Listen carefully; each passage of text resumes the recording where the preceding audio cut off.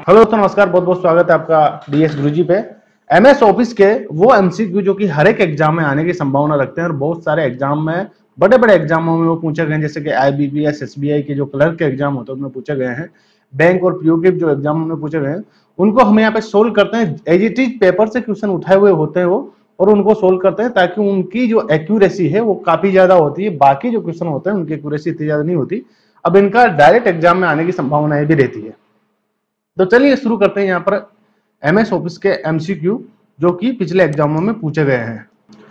पहला क्वेश्चन अपना है बाय डिफ़ॉल्ट डॉक्यूमेंट मोड में प्रिंट होता है, यानी कि बाय डिफ़ॉल्ट आप जब भी कभी कंप्यूटर में डॉक्यूमेंट को प्रिंट करते हैं तो उसको किस मोड में करते हैं, उसका मोड क्या होता है? दोस्तों प्रिंट होने के दो मोड होते हैं, मैं आपको बताऊँ। पहला डॉक्यूमेंट आपका इस प्रकार से प्रिंट होता है, दूसरा डॉक्यूमेंट आपका इस प्रकार का होता है, वो प्रिंट होता है। ये जो है, इसे हम कहते हैं पोर्ट्रेट मोड और इसे हम कहते हैं लैंडस्केप मोड उसके अलावा वो तीसरा कोई मोड नहीं होता है। ठीक है? अब यहाँ पर ऑप्शन में हमें दे रखा है landscape mode portrait mode page setup print preview और इनमें से कोई नहीं। लैंडस्केप मोड ये होता है जो मोबाइल की स्क्रीन जैसा नहीं होता, ये होता है आपके लैपटॉप की स्क्रीन जैसा और मोबाइल की स्क्रीन जैसा जो होता है वो पोर्ट्रेट होता है। तो सही आंसर जो है पोर्ट्रेट मोड में ही प्रिंट होता है बाय डिफ़ॉल्ट लैंडस्केप में हमें उसे चेंज करना पड़ता है। कहाँ से चेंज होता है? पेज सेटअप में जाकर चेंज होता है। तो पेज सेटअप इसका आंसर नहीं होगा। प्रिंट व्यू वो होता है जिसे हम प्रिंट होने से पहले देख सकते हैं क्या क्या चीज़ें प्रिंट होगी लैंडस्केप मोड इसका होता नहीं। और सही आंसर जो है, आपका हो जाएगा बी अगला प्रश्न देखते हैं। वर्ड प्रोसेसिंग प्रोग्राम में से किस प्रकार की फ़ाइल बनाई जाती है? दोस्तों वर्ड प्रोसेसिंग वर्ड का नाम जहाँ आ गया ना तो आपको एक फ़ाइल बनती है, वर्ड से जो फ़ाइल बनती है, उस फ़ाइल का नाम क्या होता है? उसको अपन एक्सटेंशन लिखते हैं डी ओ और सी डॉक फ़ाइल उसे हम बोलते हैं। तो डॉक फ़ाइल जो बनती है, उसका पूरा नाम होता है डॉक्यूमेंट फ़ाइल तो सही आंसर क्या हो जाएगा? डॉक्यूमेंट फ़ाइल डाटाबेस फ़ाइल वो होती नहीं डाटाबेस फ़ाइल डीबीएमएस में एक्सेल में बनती है स्टोरेज फ़ाइल नहीं होती स्टोरेज फ़ाइल एक अलग चीज़ होती है। स्टोरेज डिवाइसेज होती है स्टोरेज फ़ाइल कोई होती ही नहीं वर्कशीट फ़ाइल है, ये बनती है आपकी स्प्रेडशीट से। और ग्राफिकल फ़ाइल बनती है आपकी एम एस एक्सेस से। तो ये सारे ऑप्शन वैसे भी आप डिलीट कर सकते हो डॉक्यूमेंट फ़ाइल डॉक से आप याद रख सकते हो वर्ड में डॉक फ़ाइल अपनी बनती है। प्रयोगता डॉक्यूमेंट अब ये हिंदी देख के आपको थोड़ा विचलित नहीं होना है, हिंदी देख के आपको थोड़ा डरना नहीं है। हिंदी का अपना ये मोड है तो हिंदी समझनी पड़ेगी थोड़ी बड़ी कौन सा डॉक्यूमेंट जो है प्रयोगता डॉक्यूमेंट को जो नाम देता है, उसे क्या कहते हैं? यानी प्रयोगता डॉक्यूमेंट जो डॉक्यूमेंट आपने बनाया है, उसे अगर आपको कोई नाम देना है रीनेम करके, या नेम उसको कुछ भी दे दो तो उस नेम को अपन क्या कहते हैं? File name program name record data इनमें से कोई दोस्तों, अगर आपने कोई फ़ाइल डॉक्यूमेंट में बनाई और उसको सेव कर दिया, दोबारा आप उस फ़ाइल की रिक्वायरमेंट आपको है और आप उसको देखते हो कहीं तो किस प्रकार से देखते हो? डेफिनेट उस फ़ाइल का कुछ ना कुछ नाम आपने दिया होगा। जैसे उस फ़ाइल का नाम दिया document one document two document three या कुछ भी मार्कशीट एम एस एक्सेस की कुछ भी कुछ भी नाम दे दो आप, आपका नाम दे दो। तो उसे हम कहते हैं फ़ाइल नेम जो नाम आप डॉक्यूमेंट का दे दो फ़ाइल नेम कहते हैं हम उसको। प्रोग्राम हम उसको नहीं कहते प्रोग्राम अलग चीज़ होता है रिकॉर्ड भी नहीं कहते रिकॉर्ड वो होता है, लेकिन उसको कहते नहीं। डाटा भी वो होता है, लेकिन उसे डाटा नहीं फ़ाइल नेम कहते हैं। सही आंसर उसका? फ़ाइल नेम होगा, इनमें से नहीं हो इसका। मौजूदा डॉक्यूमेंट को भिन्न भिन्न नाम से सेव करना हो तो क्या करना होगा? यानी कि आपके पास कोई डॉक्यूमेंट है, अब इसको नाम चेंज करना है आपको तो आप किस प्रकार से इसका नाम चेंज कर सकते हैं? पहला ऑप्शन पे ध्यान लगाइए, थोड़ा नज़र दिखाइए। पहला ऑप्शन जो है अपना डॉक्यूमेंट को फिर से टाइप करें और भिन्न नाम दे दें। ऐसा होता है कि ऐसा कभी नहीं होता डॉक्यूमेंट को दोबारा टाइप क्यों करेंगे अपना नाम ही तो चेंज करना उसका। दूसरा आंसर है बी सेव एज कमांड का प्रयोग करें। तीसरा ऑप्शन है, मूल डॉक्यूमेंट को नए डॉक्यूमेंट में कॉपी पेस्ट करें और फिर से सेव कर दें। बिल्कुल गलत है, वो टाइप करने जैसी बात होगी ये तो।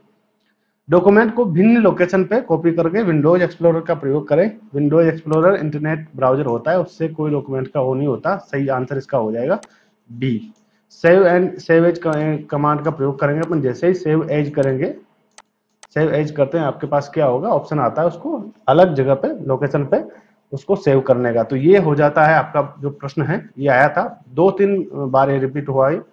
यूनियन बैंक में भी आया है कलर के एग्ज़ाम में आईबीपीएस में भी पूछा गया है 2011 में। ज़्यादा पुराना प्रश्न नहीं है तो ऐसे प्रश्न रिपीट होकर आने की संभावनाएँ रखते हैं। जब आपको कोई पाठ, यानी टेक्स्ट एक पृष्ठ से अलग पृष्ठ पर ले जाना हो, तब सबसे अच्छा तरीका क्या है? यानी कि आपको टेक्स्ट एक पृष्ठ से दूसरे पृष्ठ में ले जाना है तो उसका तरीका क्या होना चाहिए? आपके पास ये प्रश्न में पूछा हुआ है। अब ये प्रश्न में पूछा हुआ है तो यहाँ पर हम देखते हैं क्या चीज़ होगी। पहला जो ऑप्शन है, ड्रैग और ड्रॉप करो। दूसरा ऑप्शन है, कट और पेस्ट करो। तीसरा ऑप्शन है, डिलीट और टाइप करो। और डी ऑप्शन है, फ़ाइल को रिप्लेस कर दो। दोस्तों, एक डॉक्यूमेंट, जैसे मालूम है यहाँ पे सी पे जो मेरा कर्सर जा रहा है देखिए, क्या लिखा हुआ मूल डॉक्यूमेंट को, नए डॉक्यूमेंट को पेस्ट करना इस लाइन को उठा के अगर मैं यहाँ से हटा लू और किसी और डॉक्यूमेंट में रखूँ तो उसे क्या कहूँगा मैं? सिंपली कट पेस्ट कहते हैं ना अपन उसको, कट पेस्ट। यानी कॉपी पेस्ट तो अपन तब करते हैं जब वहाँ पे भी फ़ाइल दे यहाँ पे भी हो जाए। तो उसे हम क्या कहते हैं कट पेस्ट इसका सही आंसर क्या हो जाएगा?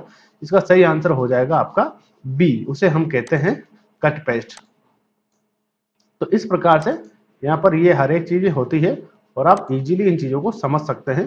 कोई ये ठप चीज़ें नहीं है। अगर आप थोड़ा सा दिमाग लगाएँगे तो आसानी से आपको सब चीज़ें समझ में आ जाएगी। बढ़ते हैं अगले प्रश्न की ओर। हमारा अगला प्रश्न है सेविंग यह एक प्रक्रिया की है, यानी कि बीच में रिक्त स्थान दिया हुआ है और लिखा हुआ है कि सेविंग यह एक प्रक्रिया की है। पहला ऑप्शन है मेमोरी से स्टोरेज के माध्यम तक के दस्तावेज़ को कॉपी करना। यानी बेसिकली ये पूछ रहा है कि सेविंग किसे कहते हैं, या सेविंग की प्रक्रिया क्या है। तो मेमोरी से, ये आपकी मेमोरी से स्टोरेज माध्यम तक दस्तावेज़ को कॉपी करना। कहीं ना कहीं आंसर सही लग रहा है। आगे का आंसर अपन देखते हैं। दस्तावेज़ की वर्तमान स्थिति में बदलाव करना। नहीं, अगर आपने कोई दस्तावेज़ आपके सी ड्राइव में रखा हुआ है, उसको आप डी में रख देते हैं तो उसका कोई सेविंग थोड़ी हुई हो। सेविंग की प्रक्रिया नहीं हुई। आपने दूसरे जगह पर सेव तो उसको किया, लेकिन सेविंग की प्रक्रिया ऐसे नहीं कहते हम।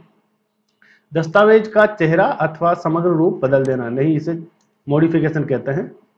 और डी यहाँ पर ऑप्शन है कुंजी पटल के प्रयोग से पाठ और टेक्स्ट को दर्ज करके दस्तावेज़ का, को विकसित करना यानी कुंजी पटल के प्रयोग से आप उसमें एडिटिंग करते हो, ये भी नहीं होता एडिटिंग करना, ये मेमोरी का या सेविंग का पार्ट नहीं होता। इनमें से कोई नहीं भी आ नहीं सकता। सही आंसर इसका होगा, जो मैंने पहले रेट लगा दिया था। दस्तावेज़ की वर्तमान स्थिति में बदलाव करना यानी कि एक फ़ाइल जो आपके पेन ड्राइव में है, उसने आपका पेन ड्राइव आपने लगाया यूएसबी पोर्ट में। लगाने के बाद वहाँ पे आपको दिखा सर, आपने वहाँ से उठा के उस वीडियो को, उस फ़ोटो को और आपके डी ड्राइव में सेव कर दिया। तो उसे क्या कहेंगे अपन? दैट इज़ कॉल्ड सेविंग यहाँ पूछा गया है सेविंग ठीक है? तो इस प्रकार से ये आंसर आपका सटीक बैठता है। अगला प्रश्न है। डायरेक्टरी में डायरेक्टरी को कहा जाता है। यानी ये डायरेक्टरी लिखा हुआ है। डायरेक्टरी एक्चुअली होता है। डायरेक्टरी में डायरेक्टरी को कहा जाता है। डायरेक्टरी में डायरेक्टरी जो होता है, यानी ये डायरेक्टरी है डायरेक्टरी यहाँ पे लिखा हुआ है। तो आपको थोड़ा ये शब्दों का मैनेज करना पड़ता है हर एक चीज़ का, क्योंकि कई बार ऐसे गलत शब्द भी लिखे आएँगे। तो आपको उसको थोड़ा समझना ऐसा नहीं कि उसका शब्द को देख के आप मतलब विचलित हो जाए। पहला होता है मिनी डायरेक्टरी ये क्वेश्चन जो था, बहुत इंपॉर्टेंट क्वेश्चन है, और ये क्वेश्चन मैंने, मेरे मॉक टेस्ट जो हमारी साइट है डब्ल्यू उसमें भी पूछा हुआ है। तो mini directory junior directory part directory sub directory का सही आंसर है सब डायरेक्टरी आप मॉक टेस्ट देख भी देख सकते हैं मिनी डायरेक्टरी नहीं होता जूनियर डायरेक्टरी भी नहीं होता पार्ट डायरेक्टरी भी नहीं होता। इसका सही आंसर है सब डायरेक्टरी और ये प्रश्न यूनियन बैंक में क्लर्क के एग्ज़ाम में पूछा गया था तो ये भी बहुत इंपॉर्टेंट प्रश्न बनता है।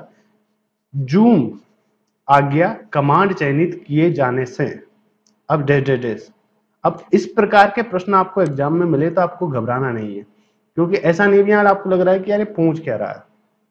ये समझ में नहीं आ रहा कि ये पूछ क्या रहा है बंदा। ये पूछ रहा है, जूम की जो कमांड होती है, चयनित कैसे करते हैं और चयनित करने के बाद क्या होता है? तो हम देखते हैं इसका पहला ऑप्शन अलग दर्शन व्यू में दस्तावेज़ को कॉपी को खोलता है, ऐसा नहीं होता। ये गलत है। प्रदर्शित दस्तावेज़ की कॉपी प्रिंट करता है, नहीं, ऐसे भी नहीं होता। प्रदर्शित दस्तावेज़ की कॉपी प्रिंट थोड़ी करता है, अगर जूम कमांड से आप देखेंगे तो। प्रदर्शित दस्तावेज़ विस्तारण में बदलाव करता है। बिल्कुल सही है, यानी कि कोई डॉक्यूमेंट जो आपको इतना सा दिख रहा है, उसको जूम करके आप इतना बड़ा देख सकते हैं। देख सकते हैं ना? जूम उसे कहते हैं। तो क्या क्या हुआ? प्रदर्शित दस्तावेज़ का विस्तारण। विस्तार हुआ यहाँ पर। पहले इतना सा था, अब इतना बड़ा हो गया। विस्तारण बदलाव करता है। प्रदर्शित दस्तावेज़ की कॉपी सेव करता है। नहीं, ये भी नहीं होता। तो इसका सही आंसर हो जाएगा सी। अगला प्रश्न अपने पास है। यदि पहले से सेव किया गया फ़ाइल एडिट किया जाए तब? ऐसे प्रश्न भी पूछे गए हैं। अब धीरे धीरे लेवल बढ़ रहा है। पहले आप कह रहे थे कि, सर बहुत इजी है, ऐसा नहीं पूछा जाएगा। दोस्तों, बहुत आगे तक चलेगी सीरीज़ को। एक दो दिन का खेल नहीं है। जब तक आपका एग्ज़ाम नहीं आएगा, तब तक मैं ऐसे क्वेश्चन लाता रहूँगा। और बहुत डीपली हमें जाना है। बहुत एंड तक जब आप इसके क्वेश्चन देखोगे तो इतने हाई लेवल के क्वेश्चन आएँगे कि आपके पल्ले तक नहीं पड़ेंगे क्या चल रहा है। लेकिन सब कुछ चीज़ें मैं यहाँ पे आपको ये देख रहे हो ना, अब ये पंद्रह क्वेश्चन जो डेली के रोज आप देख रहे हो इनमें से क्वेश्चन छपेंगे ये जो क्वेश्चन आपने ढंग से पढ़ लिए, या आपने दो तीन बार इस वीडियो को देख लिया तो ये आपको याद है। क्योंकि इतना मैं बोल बोल के आपको सब कुछ बता रहा हूँ, समझा रहा हूँ तो उस चीज़ का आप थोड़ा ध्यान रखें। इनको थोड़ा सीरियसली लें आप, प्लीज़। अगला प्रश्न अपना है, वो है, यदि पहले से सेव किया गया फ़ाइल एडिट किया जाए, तब क्या होगा? अगर पहले से सेव किया गया फ़ाइल एडिट किया जाए, तब क्या होगा? परिवर्तन को स्टोर करने हेतु फ़ाइल फिर से सेव करना ज़रूरी है। यानी, समझ गए आप? अगर ये कह रहा है कि अगर पहले सेव किया तो अपन को क्या करना पड़ेगा? Save as. सेव एज को करना पड़ेगा। सेव एज करने को क्या कहते हैं? परिवर्तन स्टोर करने हेतु तो फ़ाइल को फिर से सेव करना ज़रूरी है। तो ये बात क्या है? सही हमें लगती है। अब आगे भी पढ़ते हैं। आगे क्या ऑप्शन है? परिवर्तन अपने आप फ़ाइल में सेव किए जाएँगे, नहीं किए जाएँगे। एक पेज से ज़्यादा लंबाई हो जाने पर, ये तो लंबाई की तो बात ही नहीं आती डॉक्यूमेंट में।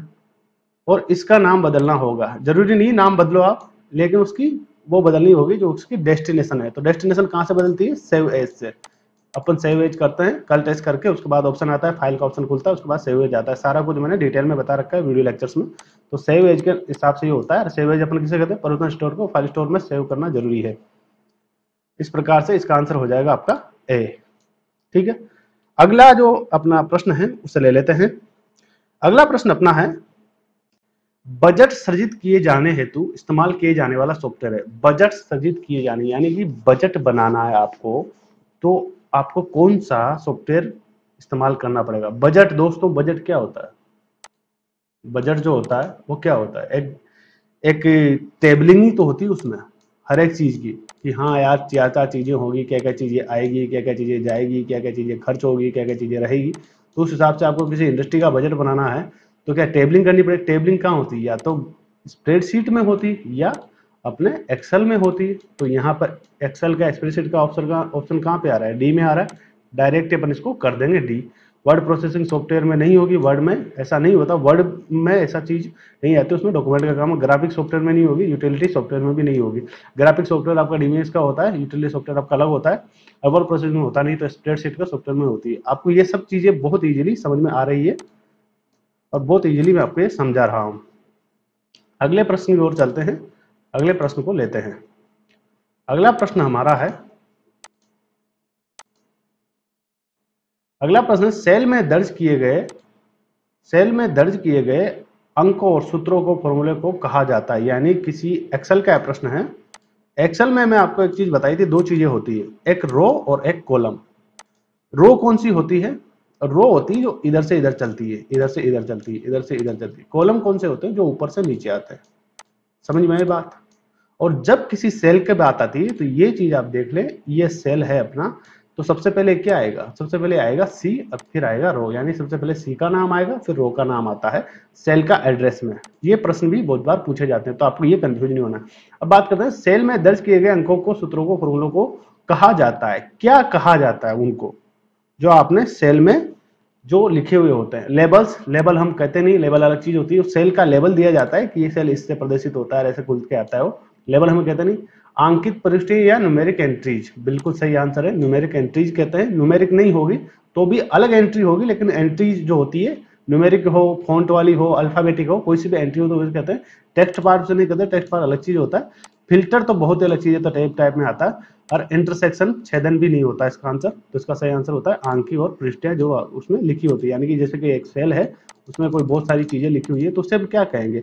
आंकिक जो न्यूमेरिक एंट्रीज होती है या अल्फाबेटिक एंट्रीज होती है तो एंट्रीज उन्हें हम कहते हैं। ऐसे न्यूमेरिक की जगह और भी आ सकता है अल्फाबेटिक एंट्रीज भी आ सकता है तो आपको इस प्रकार से इसको देखना है। ये आया था बैंक ऑफ़ बड़ौदा क्वेश्चन में। अब सारे क्वेश्चन अधिकांश एग्ज़ाम में पूछे हुए बताने की ज़रूरत नहीं है। माइक्रोसॉफ्ट ऑफ़िस यह एक उदाहरण है। दोस्तों बहुत सी बार मैंने ये बताया आपको माइक्रोसॉफ्ट ऑफ़िस किसका उदाहरण है? सबसे पहले आपको याद रखना, ये एप्लीकेशन सॉफ्टवेयर है माइक्रोसॉफ्ट ऑफ़िस दूसरा, पहला ऑप्शन है क्लोज सोर्स सॉफ्टवेयर दोस्तों close source software Microsoft Office है या नहीं है, ये आपको तब पता चलेगा कि माइक्रोसॉफ्ट ऑफ़िस में कोई बदलाव कर सकता है क्या? या कोई उसमें कुछ भी चेंज कर सकता है? क्लोज सोर्स और ओपन सोर्स ये चीज़ होती है जिसमें पब्लिकली कोई भी बदलाव कर सकते हैं। ऐसा सॉफ्टवेयर होता है जिससे अपना एंड्रॉइड है, वो ओपन सोर्स है, अपना विंडोज़ है, वो क्लोज सोर्स है। तीसरा ऑप्शन हमारे पास आता है स्थिति समांतर सॉफ्टवेयर, मार्केट सॉफ्टवेयर होता है, वही ये है जो मार्केट में उपलब्ध है स्थिति समांतर सॉफ्टवेयर है ये, यानी कि स्थिति समांतर समझे आप कितनी हिंदी का यूज़ किया है। यानी कि सेम एक के बाद एक डिपेंडेंट जो होते हैं पैरेलली जो चलते हैं उन्हें हम स्थिति समांतर सॉफ्टवेयर कहते हैं। इनके पैरेलली सॉफ्टवेयर कौन से हैं? इनके पैरेलली सॉफ्टवेयर डॉक्यूमेंट के जो सॉफ्टवेयर होते हैं माइक्रोसॉफ्ट ऑफ़िस बहुत सारे सॉफ्टवेयर जैसे कि अपना आउटलुक है, अपना वर्ड है, अपना एक्सेल है, अपना पब्लिशर है। इस प्रकार से जो समांतर सॉफ्टवेयर चलते रहते हैं, उन्हें हम स्थिति समांतर सॉफ्टवेयर कहते हैं। ये हिंदी में है। उसे प्रकार से स्थिति समांतर सॉफ्टवेयर ये है। तो वर्टिकल मार्केट सॉफ्टवेयर भी ये नहीं है स्थिति समांतर सॉफ्टवेयर है। कंपाइलर तो सी में आता है, वो कंपाइल करता है। तो कंपाइलर ये है नहीं तो इसका सही आंसर हो जाएगा सी स्थिति समांतर सॉफ्टवेयर समझ में आया ना? स्थिति जब बहुत ज़्यादा हिंदी का इसमें दे रखा है, हिंदी का ऐसे ही आपको थोड़ा तो आप एक बार उसका इंग्लिश भी पढ़ लीजिए। इंग्लिश में ऐसा लिखा होगा कि पैरेलली जो सॉफ्टवेयर होते हैं पैरेलली सॉफ्टवेयर कौन से होते हैं? यानी समांतर जो कि सेम सेम सॉफ्टवेयर होते हैं।